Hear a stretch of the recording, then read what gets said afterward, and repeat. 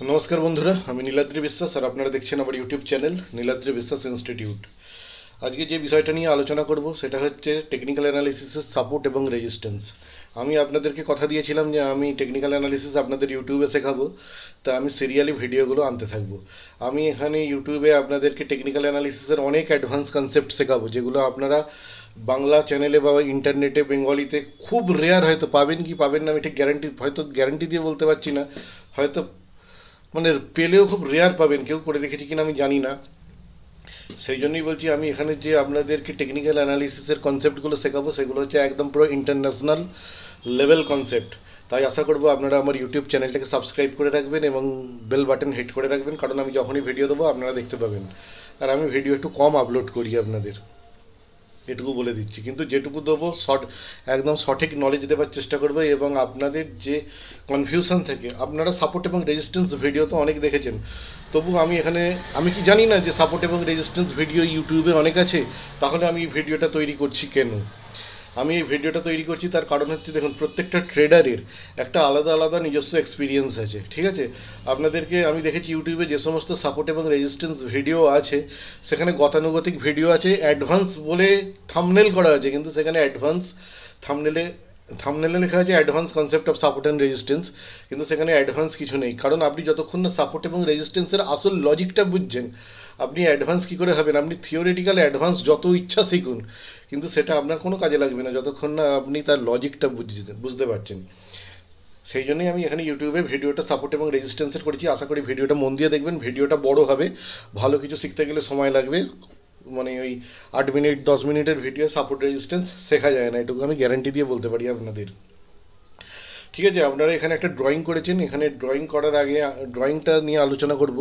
ড্রয়িংটার মধ্যে সব কিছু আপনাদেরকে শেখাবো। তা সাপোর্ট এবং রেজিস্ট্যান্স কী, আগে কাকে বলে সেটা আমরা জানব।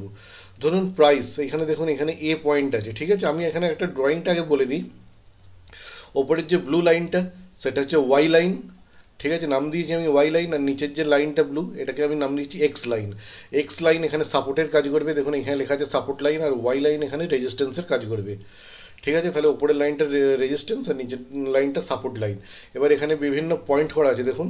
এটা এ আবার এখানে বি এখানে সি এখানে ডি এখানে E F G H I J K L M N এইভাবে মার্কিং করে রেখেছি, যাতে আপনাদেরকে বোঝাতে সুবিধা হয় এবং আমি যদি পয়েন্টগুলোর নাম বলি, তাহলে আপনাদের বুঝতে সুবিধা হবে। ঠিক আছে? আর এখানে আমি, এখানে ধরুন এটা হচ্ছে একটা ব্যাঙ্ক নিফটির ওপর আমি ধরুন বোঝাচ্ছি। এই ওপরে যে রেজিস্ট্যান্স লেভেল এখানে আমি লিখে রেখেছি, দেখুন এই B point D point F H এই এন পয়েন্ট এগুলোর ভ্যালু হচ্ছে ধরে রাখুন আনুমানিক ছত্রিশ হাজার টাকা। এটা আমি বোঝাবার জন্য করেছি।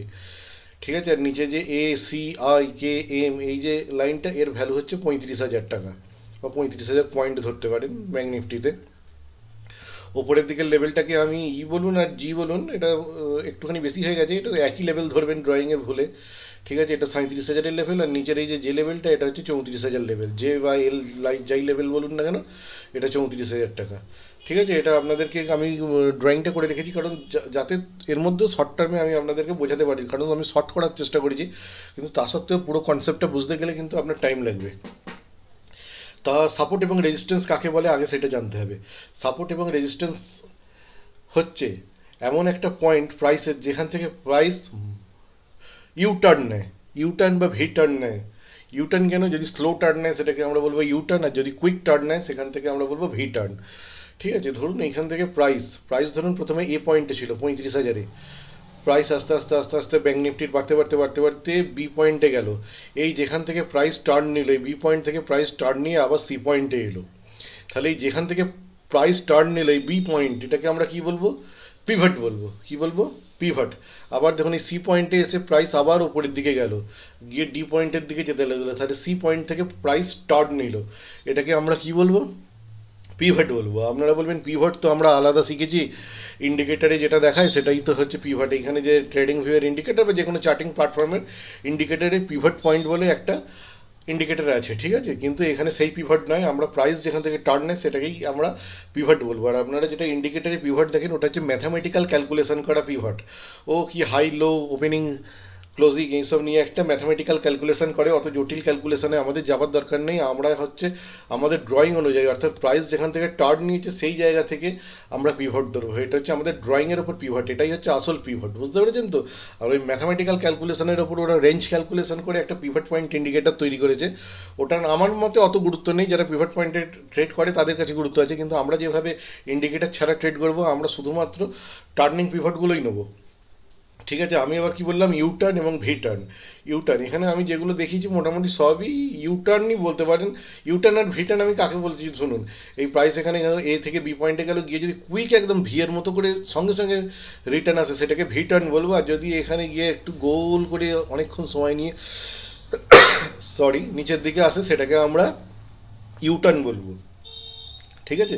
তাহলে হচ্ছে এই যে A B C D E এগুলো হচ্ছে সব আমাদের পিভট পয়েন্ট আমি পিভট পয়েন্ট বলব, আপনারা অবাক হয়ে যাবেন না যে কী বলছে। ঠিক আছে? প্রাইসের টার্নিং পয়েন্টটা কি আমরা এখানে পিভট বলব।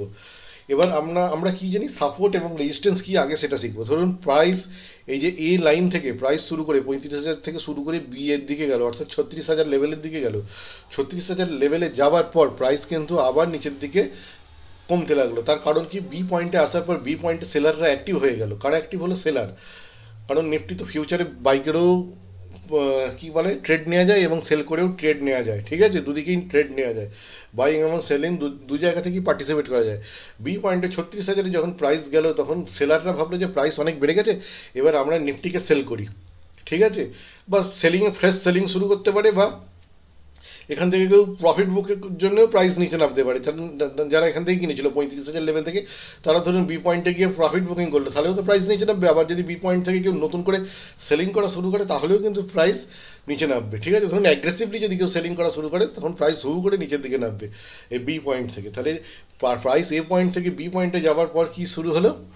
সেলিং শুরু হলো। সেলিং শুরু হওয়ার পর কি প্রাইস আস্তে আস্তে পঁয়ত্রিশ হাজার থেকে যে ছত্রিশ হাজারের লেভেলে গিয়েছিল, সেখান থেকে প্রাইস নিচের দিকে আবার চলে এলো। তাহলে এই বি পয়েন্টটা এখানে কিসের কাজ করল? এখান থেকে প্রাইসের কি হলো? টার্নিং হলো। এই টার্নিং পয়েন্টটাকে আমরা কি বলব? রেজিস্ট্যান্স আবার বি পয়েন্ট থেকে প্রাইস ছত্রিশ হাজার থেকে কমে কমে কমে কমে সেলাররা এটাকে পঁয়ত্রিশ হাজারের লেভেলে নিয়ে এলো। এখান থেকে বায়াররা বলল প্রাইস তো অনেক কমে গেছে, আমরা এখান থেকে ফ্রেশ বাইং শুরু করি। ঠিক আছে? তাহলে ফ্রেশ বাইং শুরু করার পর কী হলো? আবার প্রাইস ওপরের দিকে গেল। অর্থাৎ ছত্রিশ হাজারের লেভেলের দিকে গেল। তাহলে সি সি এর সি পয়েন্টে এসে প্রাইস কিন্তু থেমেছিল, থেমে টার্ন নিয়েছিল। তাই সি পয়েন্ট সি টার্নিং পয়েন্টটাকে আমরা কি বলব? যে সাপোর্ট বলব। ঠিক আছে? এইটুকু আশা করি আপনারা বুঝতে পেরেছেন। সাপোর্ট এবং রেজিস্ট্যান্স কাকে বলে? তাহলে প্রাইস যেখান থেকে টার্নিং করে, সেই টার্নিংয়ের পিভটগুলোকে আমরা কি বলব? আপনারা নিশ্চয়ই ছোটোবেলায় মানে যখন আপনারা ফিজিক্যাল সায়েন্স পড়েছিলেন এইটে না নাইনে ছিল যে পিভট পয়েন্ট তাই যে সেই যা পিভট এই পিভট একই। যেখান থেকে কোনো জিনিস টার্নিং না, সেটাকেই অ্যাকচুয়ালি পিভট বলে। ঠিক আছে? ধরুন একটা সাঁড়াশি তারও যে এখানে দেখবেন রিপিট করে থাকে দুটো দিকের হাতল, সেইটাকে আমরা কি বলি? পিভট বলি, তাই তো? তা যেখান থেকে প্রাইস টার্ন নেয়, সেটাই হচ্ছে পিভট আশা করি আপনারা এটুকু বুঝতে পেরেছেন। এরপরে আপনাদেরকে যে জিনিসটা শেখাবো, যে আপনারা বহুল প্রচলিত একটা কনসেপ্ট শুনেছেন, যে support become resistance resistance become support ঠিক আছে? এটা আপনারা সবসময় শুনে থাকেন। এবং এটা আপনাদের এইভাবে লজিক দিয়ে বোঝানো হয় যে একটা, ধরুন আপনি রুমের মধ্যে রয়েছেন, এটা ধরুন রুমের ছাদ রেজিস্ট্যান্স লাইনটা আর সাপোর্ট লাইনটা হচ্ছে রুমের ফ্লোর তা রুমের ফ্লোর আর রুফের মধ্যে যতক্ষণ প্রাইস ঘোরাফেরা করছে, ঠিক আছে, যখনই আপনি রুমের ফ্লোর থেকে ছাদে চলে যাচ্ছেন, ছাদ পেরিয়ে ওপরে চলে যাচ্ছেন, তখন এই ছাদটা আপনার আবার ফ্লোরের কাজ করছে। এইভাবে আপনাদেরকে বোঝানো হয়েছে যে support becomes resistance and resistance become support এইভাবে কিন্তু বুঝলে আপনি কিন্তু কখনোই বুঝতে পারবেন না যে এর আসল লজিকটা এটা আপনাকে কিন্তু মার্কেটের পরিভাষাতেই বুঝতে হবে। তা আমি সেটা বোঝাবো ভালো করে, আপনারা একদম খুব সন্তর্পণে এই জিনিসটা ভালো করে লজিক্যালি বুঝবেন, তাহলে কিন্তু সাপোর্ট এবং রেজিস্ট্যান্স সম্বন্ধে আপনার সমস্ত কনফিউশন দূর হয়ে যাবে।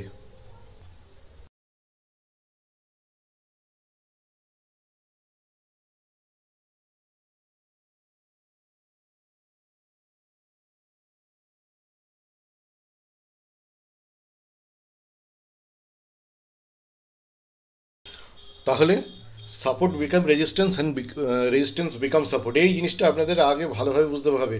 কারণ এইটা না হলে কিন্তু আপনারা যদি না লজিকটা বুঝতে পারেন, ওই ছাদটা ফ্লোর হয়ে যায় আর ফ্লোরটা ছাদ হয়ে যায়, ওইভাবে বুঝলে হবে না। এখানে মার্কেটের পরিভাষায় আপনাদেরকে বোঝাচ্ছি খুব মানে কি বলব আর কি, খুব মন দিয়ে শুনুন, ঠিক আছে?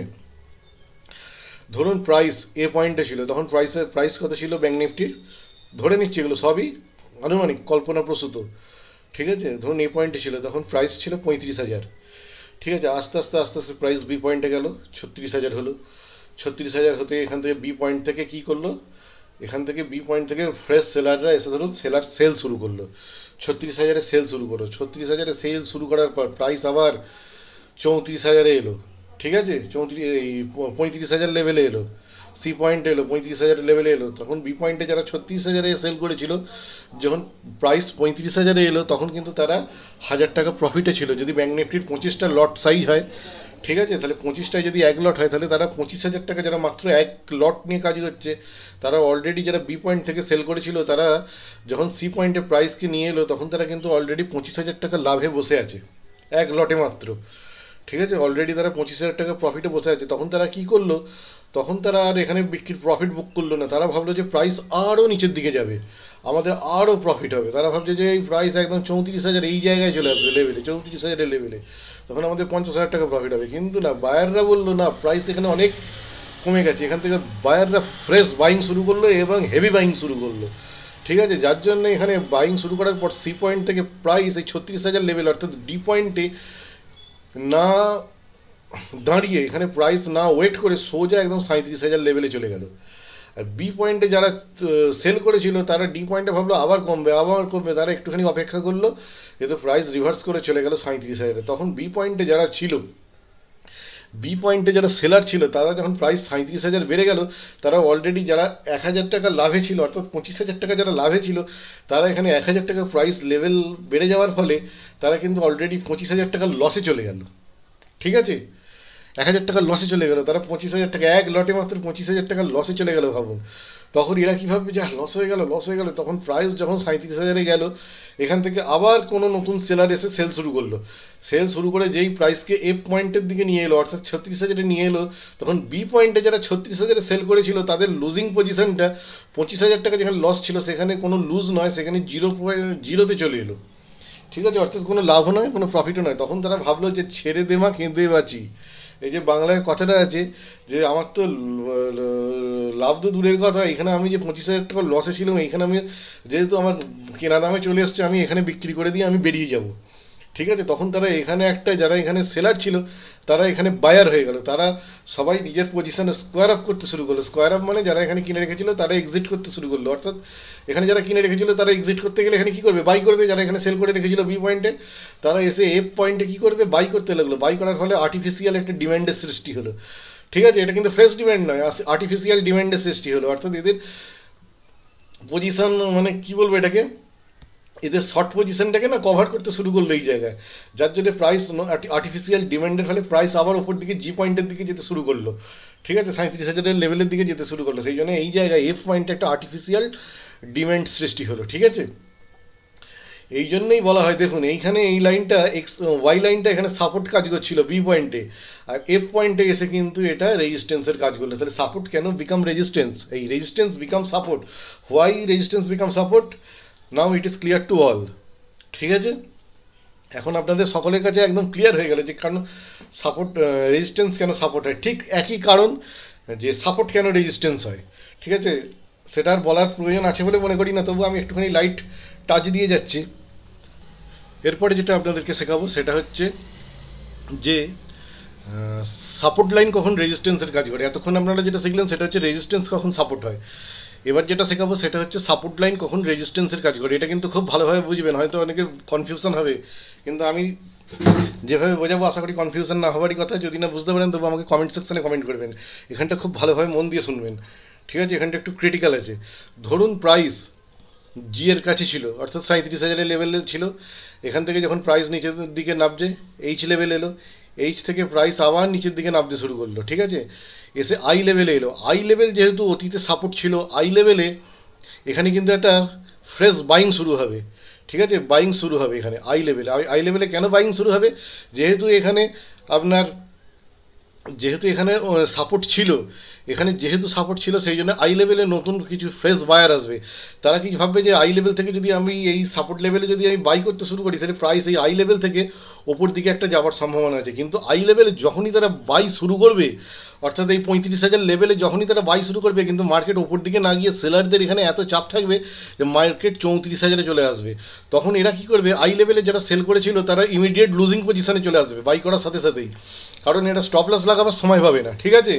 এইখানে আই পজিশনে এই যে আই যে পিভটটা দেখছেন, এই আই পজিশনে এখানে পিভট নয় আর কি আই এই যে কনজাংশনটা দেখছেন, এইখানে কিন্তু নতুন ফ্রেশ বায়ার এসছে, ঠিক আছে? এরা যখনই মার্কেট এখানে বাই করার পরে মার্কেটে চৌত্রিশ হাজার লেভেল চলে আসবে, পঁয়ত্রিশ হাজারে বাই করার পর এটা তখন ওয়ান থাউজেন্ড লসে চলে যাবে, অর্থাৎ পঁচিশ হাজার টাকা লসে চলে যাবে ওয়ান লটে তখন এরা কেনার সাথে সাথেই যেহেতু ওয়ান এক হাজার টাকা লসে চলে আসবে প্রাইস তাই যখন এই কে পিভটে আসবে, আবার যখন আসবে তখন এদের কিন্তু লস কভার হয়ে যাবে, তখন এরা কোনো প্রফিট বা লসে থাকবে না। তখন তারা ভাববে যে আমাদের যে ক্যালকুলেশন ছিল যে আই লেভেল থেকে প্রাইস ওপরের দিকে যাবে, সেইটা না গিয়ে প্রাইস নিচের দিকে গিয়েছিল, যার জন্য আমরা লুজিং পজিশনে চলে গেছিলাম। কিন্তু এখন আমরা মোটামুটি নো প্রফিট নো লস পজিশনে চলে এসেছি। লসের থেকে আমার জিরো পজিশন ভালো, অর্থাৎ নো প্রফিট নো লস এটা ভালো। তখন এখান থেকে কিন্তু এই যারা আই পজিশনে বাই করেছিল, তারা কিন্তু এখানে আবার এসে তাদের পজিশন এক্সিট করবে, অর্থাৎ স্কোয়ার আপ করবে। তার জন্য এখানে আর্টিফিশিয়াল একটা সাপ্লাইয়ের সৃষ্টি হবে, এই কে পয়েন্ট এসে। এই জন্যই কে পয়েন্ট থেকে প্রাইস নিচের দিকে, আবার এল পয়েন্টের দিকে নেমে যায়। সেই জন্যই এখানে দেখতে পাচ্ছেন যেটা হলে অতীতে এখানে সাপোর্ট লাইন হিসেবে কাজ করছিল, সেটা এখানে রেজিস্ট্যান্স লাইন হিসেবে কাজ করল কে পয়েন্টে এটাই হচ্ছে সাপোর্ট এবং রেজিস্ট্যান্সের লজিক এটা কিন্তু আপনাদের ইউটিউবে বেঙ্গলিতে হয়তো পেলেও রেয়ারলি পাবেন কেউ করেছে কিনা, আমি জানি না। ঠিক আছে, আমি যেভাবে বুঝিয়ে দিলাম, এরপরে আশা করি সাপোর্ট এবং রেজিস্ট্যান্সের এই যে ফ্লিপ নিয়ে যে ফ্লিপ তৈরি করে না সাপোর্ট রেজিস্ট্যান্স হয়ে যায় রেজিস্ট্যান্স সাপোর্ট হয়ে যায়, এটা নিয়ে আর আপনাদের কোনো কনফিউশন থাকবে না। আপনারা মানে একদম কনফিডেন্টের সাথে আপনারা ট্রেড করতে পারবেন। ঠিক আছে? এরপরে যে আমি সাপোর্ট এবং রেজিস্ট্যান্সের বিষয়টা আসব, সেটা হচ্ছে আপনারা তো সাপোর্ট সাপোর্টের রেজিস্ট্যান্সের এই কনসেপ্টটা জানলেন। এরপরে যেটা আসবে যে মেজর সাপোর্ট এবং সাধারণ সাপোর্ট বা কোনটা স্ট্রং সাপোর্ট এবং কোনটা উইক সাপোর্ট সেইটা সম্বন্ধে আপনাদেরকে একটু বলে দেবো। সেটা সম্বন্ধে বলে দিতে গেলে আমি এখানে আপনাদেরকে এই ড্রয়িংটা এবার, এই ড্রয়িংটা রাখব? আচ্ছা ড্রয়িংটা যেখানে করে ফেলেছি, হয়তো আবার দরকার হতে পারে। ঠিক আছে? তবু আমি বলে দিচ্ছি, এখানে ছোট্ট করে এঁকে আমি দেখিয়ে দিচ্ছি। ঠিক আছে? এই তো এটা তো আমাদের কী লাইন ছিল? এটা আমাদের রেজিস্ট্যান্স লাইন ছিল। এবার ধরুন প্রাইস এটা একটা আলাদা ড্রয়িং ধরুন। এই প্রাইস ধরুন। এই জায়গা থেকে গিয়ে এইখানে একবার ধাক্কা খেলো। ধাক্কা খেয়ে আবার এই জায়গায় ধরুন গিয়ে ধাক্কা খেয়ে আবার এলো। ঠিক আছে? প্রাইস যদি একই জায়গায় দুবার ধাক্কা খেয়ে আসে, সেটাকে আমরা কিন্তু কি বলব? মেজর রেজিস্ট্যান্স বলব। আবার প্রাইস যদি আবার নিচের দিকে একই জায়গা থেকে বারবার উপর দিকে ওঠে, দুবার ওঠে, তাহলে সেটাকে আমরা বলব মেজর সাপোর্ট ঠিক আছে? যদি প্রাইস একবার ধাক্কা খেয়ে কোনো কারণে ফিরে আসে, সেটাকে কিন্তু আমরা মেজর সাপোর্ট বা অত বা মেজর রেজিস্ট্যান্স অত গুরুত্ব গুরুত্ব দেবো না। কিন্তু প্রাইস যখন একই লেভেল থেকে, অর্থাৎ ডবল টপ বা ডবল বটম করার পর থেকে ফিরে আসবে, তখন সেটাকে কিন্তু আমরা মেজর সাপোর্ট বা মেজর রেজিস্ট্যান্স হিসাবে দেখব। মেজর সাপোর্ট এবং মেজর মেজর রেজিস্ট্যান্সের গুরুত্ব আছে। ঠিক আছে? এরপরে আমরা কি করব? এরপরে আমরা তাহলে মেজর সাপোর্ট এবং মেজার রেজিস্ট্যান্স কাকে দেখে নিলাম যে দুবার যদি প্রাইস একই লেভেল থেকে ফিরে আসে, সেটাকে আমরা মেজার সাপোর্ট এবং মাইনার সাপোর্ট যদি একবার জায়গা, একবার প্রথমবার কোনো জায়গা থেকে ফিরে আসে, সেটাকে আমরা মাইনার সাপোর্ট বলব বা মাইনার রেজিস্ট্যান্স বলব, ঠিক আছে? বুঝতে পেরেছেন? এবার স্ট্রং সাপোর্ট আর উইক সাপোর্ট আমরা কাকে বলব? স্ট্রং সাপোর্ট আর উইক সাপোর্ট কিন্তু আলাদা জিনিস, ঠিক আছে? স্ট্রং সাপোর্ট আর উইক সাপোর্ট কাকে বলে, সেটা আমি আপনাদেরকে শেখাচ্ছি। ভালোভাবে শুনুন, এবার ড্রয়িংটা মুছে দিচ্ছি। এবার নতুন করে ড্রয়িং আমি একটা করি। কোথায় গেল? হরাইজেন্টাল লাইন হ্যাঁ। রেজিস্ট্যান্স লাইন আবার একটা ড্র করলাম। সাপোর্ট লাইন ঠিক আছে? দেখতে পাচ্ছেন? ধরুন প্রাইস কোনো জায়গা থেকে এইখানে শুরু হয়ে, এখান থেকে শুরু হয়ে এইখানে লেভেলে এসে এই এলো, ফিরে এলো। ফিরে এসে আবার গিয়ে, আবার সেই একই রেজিস্ট্যান্সে ধাক্কা খেয়ে একবারে নিচে ফিরে এলো। ঠিক আছে? অনেকটা নিচে ফিরে এলো। ঠিক আছে? এইটাকে আমরা বলব কি? স্ট্রং রেজিস্ট্যান্স প্রথম যে রেজিস্ট্যান্স ছিল এটা কিন্তু স্ট্রং রেজিস্ট্যান্স নয়। কিন্তু দ্বিতীয়বার যখন এইখান থেকে ফিরে এলো ঠিক আছে? এটা আলাদা লেভেলও হতে পারে। এই লেভেল নয়, এই লেভেলে একটু ওপর থেকে হয়তো গিয়ে অনেকটা রিট্রেস করল, ঠিক আছে? আচ্ছা এখানে আমি আঁকাটা একটুখানি চেঞ্জ করে দিই, তাহলে আপনাদের বুঝতে আরও সুবিধা হবে। কেউ হয়তো বলবে যে এখানে ডবলটা হয়ে গেছে, তার জন্য এটাই তো স্ট্রং সাপোর্ট তা নয়। কনসেপ্টটা ক্লিয়ার করি আপনাদেরকে। ধরুন প্রাইস এখান থেকে প্রথমে এইখানে গেল রেজিস্ট্যান্স লাইনে গিয়ে এখানে ফিরে এলো। এইটা হচ্ছে কি? মাইনর রেজিস্ট্যান্স এবং খুব একটা বেশি রিট্রেস হয়নি। ঠিক আছে? সেই জন্য এটা খুব একটা স্ট্রং নয়। এরপর থেকে দেখা যাচ্ছে যে প্রাইস একদম আরেকটু ওপরে গেল। গিয়ে এখান থেকে একদম ফুল রিট্রেসমেন্ট নিয়ে নিচে একদম চলে এলো। তাহলে এই যে ওপরের যে আরেকটা যে রেজিস্ট্যান্স তৈরি হলো, ঠিক আছে? এটা এখনও মাইনর রেজিস্ট্যান্স কারণ একই লেভেল থেকে দুবার আসেনি, কিন্তু মাইনর রেজিস্ট্যান্স হলেও এটা কিন্তু অনেক স্ট্রং তার কারণ কি বলুন তো? এইখানে দেখুন, এই যে নতুন রেজিস্ট্যান্সটা ক্রিয়েট হলো ঠিক আছে, এই যে ব্লু লাইনটা আমি দেখাচ্ছি, ঠিক আছে? এই ব্লু লাইনটা এই যে রেজিস্ট্যান্সটা ক্রিয়েট হলো, ঠিক আছে? প্রথম যে রেজিস্ট্যান্সটা ক্রিয়েট হয়েছে, তার আপনি পুলব্যাক দেখুন একটুখানি, আর দ্বিতীয় যে রেজিস্ট্যান্সটা যে, দ্বিতীয় ফিভার থেকে যে ফিরে এলো, এর আপনি রিট্রেসমেন্টটা দেখুন বা পুলব্যাকটা দেখুন, কোথায় চলে এসছে? তাহলে আপনার কাছে স্ট্রং রেজিস্ট্যান্স কোনটা হবে? স্ট্রং রেজিস্ট্যান্স নিশ্চয়ই এইটা নয়, এর ওপরের যে লেভেলটা আছে, এইটা আপনার স্ট্রং রেজিস্ট্যান্স হিসাবে কাজ করবে। তো আশা করি এবার স্ট্রং রেজিস্ট্যান্স এবং উইক রেজিস্ট্যান্স কী আপনারা বুঝতে পেরেছেন? সাপোর্টের ক্ষেত্রেও এটা খালি জাস্ট ফ্লিপ করে নেবেন রিভার্স করে নেবেন, একইভাবে কাজ করবে। এটা হচ্ছে স্ট্রং সাপোর্ট এবং উইক সাপোর্ট স্ট্রং রেজিস্ট্যান্স এবং উইক রেজিস্ট্যান্সটা আপনাদেরকে বলে দিলাম। আপনারা বিভিন্ন লাইন যেখান থেকে পিভট পান আপনারা ঠিক আছে, যেখান থেকেই আপনারা পিভট পান, সেখান থেকেই আপনারা লাইন ড্র করতে থাকেন, যে এটা আমার সাপোর্ট এটা রেজিস্ট্যান্স যার জন্য কনফিউজ হয়ে যান। তাই আমরা কি করব? যে সব পিভট পয়েন্টে আমরা লাইন ড্র করব না। আমরা যেগুলো মেজর সাপোর্ট এবং মেজর রেজিস্ট্যান্স সেইগুলো দেখবে এবং যেগুলো স্ট্রং সাপোর্ট এবং স্ট্রং কী বলে সাপোর্ট এবং স্ট্রং রেজিস্ট্যান্স সেইগুলোকে আমরা মার্কিং করব। তার মানে এই নয় যে, এটা কখনোই ভাববেন না যে ছোটোখাটো যে সাপোর্টগুলো আছে, সেইগুলোর কাজ করবে না। সেগুলোও কাজ করবে, কিন্তু সেগুলো সম্ভাবনা কম, কিন্তু মেজর এবং স্ট্রং সাপোর্টের বা রেজিস্ট্যান্সের সম্ভাবনা সবসময় বেশি। আচ্ছা আপনাদের লজিকও বুঝিয়ে দিলাম স্ট্রং সাপোর্ট কাকে বলে বুঝিয়ে দিলাম মাইনর সাপোর্ট কাকে বলে মেজর সাপোর্ট কাকে বলে, সেটাও বুঝিয়ে দিলাম। ঠিক আছে? মোটামুটি যেটুকু আমি আপনাদের এই মুহূর্তে মনে করতে পেরেছি, সেইগুলো সবই আমি আপনাদেরকে বুঝিয়ে দিয়েছি। এরপরে আরেকটা যে জিনিস কনফিউশন তৈরি হয়, সেটাও একটুখানি আমি আপনাদেরকে বলে দিই। ঠিক আছে? যা ড্রয়িংটা থাকলে ভালো হতো, কিন্তু ড্রয়িংটা যেহেতু ডিলিট করে দিয়েছি, আবার একটু নতুন করে ড্রয়িং করে করতে হবে। ঠিক আছে? ভিডিওটা অবশ্যই দেখতে থাকুন। এখানে আরেকটা যে বিষয় বলে, বলব বলে বলছিলাম আপনাদের যে ড্রয়িংটা আবার আমি ফিরিয়ে এনেছি। ঠিক আছে? তাই এখানে দেখুন, যারা এল পয়েন্ট থেকে এটা, এটাও কিন্তু বোঝার আছে। ঠিক আছে? যারা এল পয়েন্ট থেকে বাই করা শুরু করল, নতুন যারা এল পয়েন্ট থেকে বায়ার হলো, তারা কি টার্গেট তারা তখন টার্গেট কী লাগাচ্ছে? তারা টার্গেট লাগাচ্ছে, তারা ভাবছে যে প্রাইস এইখান থেকে একদম জি পয়েন্টে যাবে।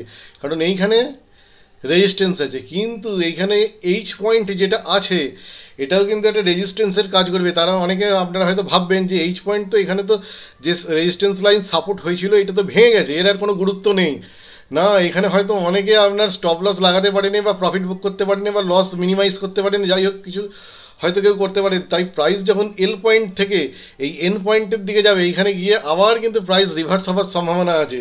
কারণ এইখানে যারা প্রাইস প্রাইসে প্রফিট বা লস বুক করতে পারেনি, তারা কিন্তু এইখানে আবার চেষ্টা করবে। বুঝতে পেরেছেন? তাই এইচ পয়েন্টটাকে কিন্তু হালকাভাবে নেবেন না। ঠিক আছে? আপনারা অনেকে ভাববেন তো এই রেজিস্ট্যান্স তো এইখানে আছে।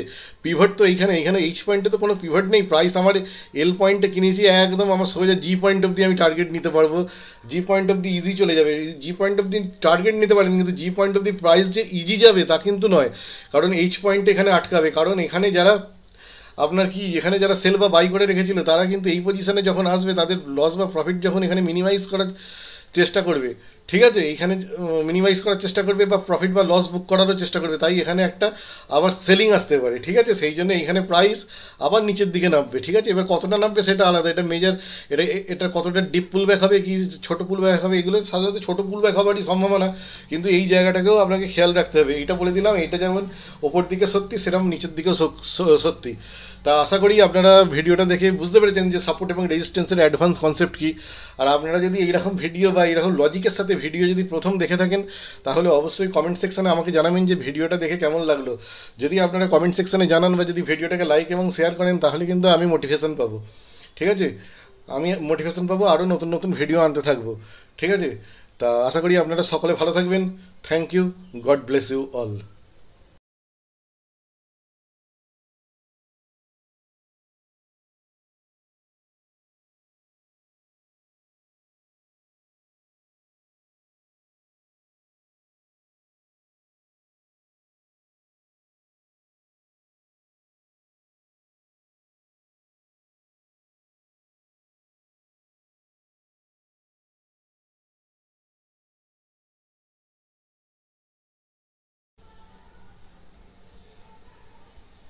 এখানে আরেকটা যে বিষয় বলে, বলব বলে বলছিলাম আপনাদের যে ড্রয়িংটা আবার আমি ফিরিয়ে এনেছি, ঠিক আছে? তাই এখানে দেখুন, যারা এল পয়েন্ট থেকে এটা, এটাও কিন্তু বোঝার আছে, ঠিক আছে? যারা এল পয়েন্ট থেকে বাই করা শুরু করল, নতুন যারা এল পয়েন্ট থেকে বায়ার হলো, তারা কি টার্গেট তারা তখন টার্গেট কী লাগাচ্ছে? তারা টার্গেট লাগাচ্ছে, তারা ভাবছে যে প্রাইস এইখান থেকে একদম জি পয়েন্টে যাবে।